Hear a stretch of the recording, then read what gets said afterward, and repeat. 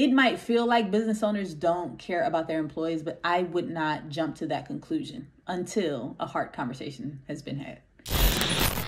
You cannot conclude that someone does not care about you without a pattern behavior. If you're not going to have the conversation, then you're looking at pattern of behavior, right? But even then, there's still so much to be misconstrued and, and that is unknown. All of that gets brought to the surface when we can talk about things. And so I'm not suggesting like that people aren't treating you poorly. Maybe they are treating you poorly. A conversation needs to be had when people feel like I don't feel safe to have this conversation.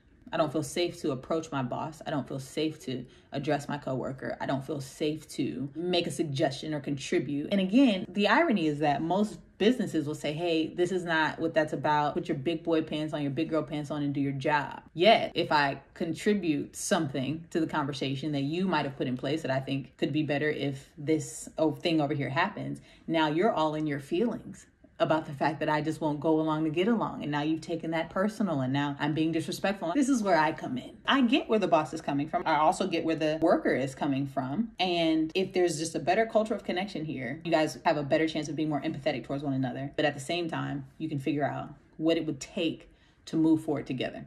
And you might decide after looking at what it takes, I cannot move forward together in this.